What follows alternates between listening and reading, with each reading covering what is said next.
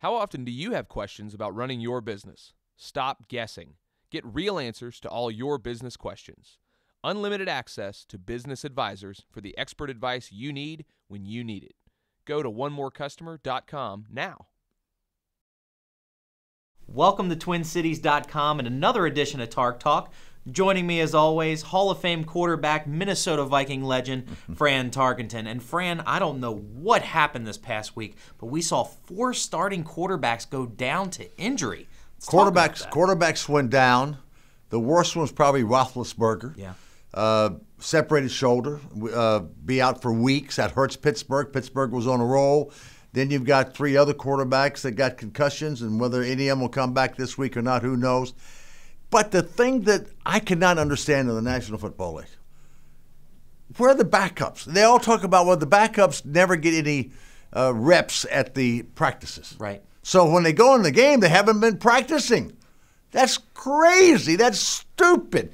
You've got, you know, quarterbacks are vulnerable. Every position is vulnerable. You you've got to have somebody who can come in and play when your quarterback goes down. And you also have to have someone who has practiced and had reps so he can go in with the first team because the chances of quarterbacks going down are greater than ever with the physicality of the game. Now, Pittsburgh is in great jeopardy. Byron Leftwich isn't going to get them to the playoffs. And without uh, Roethlisberger, they're in trouble. How do you like to go against the Ravens this week with Byron Leftwich? He runs about a 10 flat 40.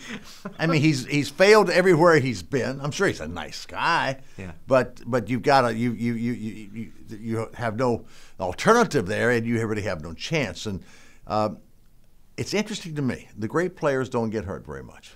At quarterback, Peyton missed one year. What did he play? 14. Tom Brady missed one year in the fluke. Played all. Drew Brees plays plays every week. Eli plays every week. Yep. But Cutler, you know, you look at Cutler, and I watched him uh, get hit, and he was kind of he was running kind of like this. And he throws the ball, and the guy I don't think tried to hit him with the head, but he hit in the head. It's a terrible hit. Yep. Cutler goes down, but we've seen Cutler go down all the time. Sure. You cannot be a great quarterback unless you're on the field every week.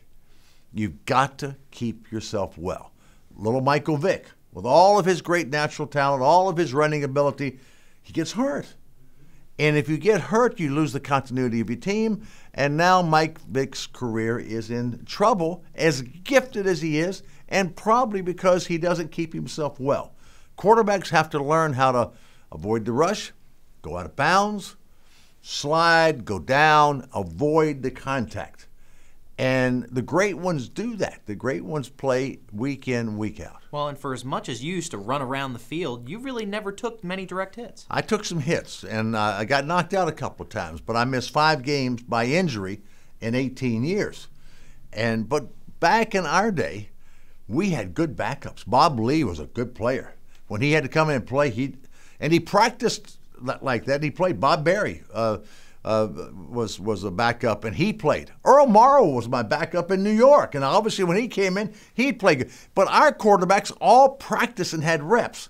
Now here we have modern day football. All these smart guys with all these studies and all these deals of, of making themselves better, and they don't get enough reps. Give me a break. I hope Leslie Frazier that you're giving Joe Webb some some reps so that in case uh, Christian Ponder goes down, Joe Webb has got some practice. He can go ahead and play. All right, so let's talk about the Vikings. We're coming off a big win, but we're going into the bye week now. Yep. And coming out of the bye week, we have one of the toughest schedules Yep. in the NFL. What do the Vikings need to be doing right now on the bye week to really prepare? Well, I think rest, Okay. get well, uh, and and come back refreshed for your last push. It's a good time to have the bye week coming off of a win. We play 10 games, we've got six left. I think it's going to take 10, 10 wins to get in the playoffs. Uh, and, and I think, uh, you know, we've got two games against the Bears, two games against uh, uh, the Packers, and they're always tough, but they're division rivals. We know how to play them. And maybe Cutler won't be there for the Bears. And uh, but I think this team can get the, those four wins and, and get to the playoffs. But I think it's a great time to have the bye.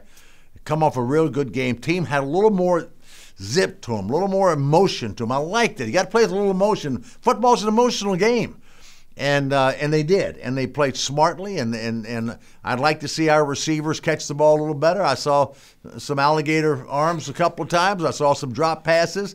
You cannot drop interceptions. You cannot drop passes. You got to catch the ball. You got to watch it in, and and if we can clean up some of that stuff, but I thought Christian played played a lot better, but the whole team, and then of course we had Adrian, and uh, he was uh, off the charts again. Uh, and uh, is then probably going to have the best year of his career. Absolutely. And folks, if you haven't read Fran's article on Adrian Peterson uh, on the St. Paul Pioneer Press this week, make sure you yep. do so. And make sure you join us back next week because we'll be back with another edition of Tark Talk right here at TwinCities.com.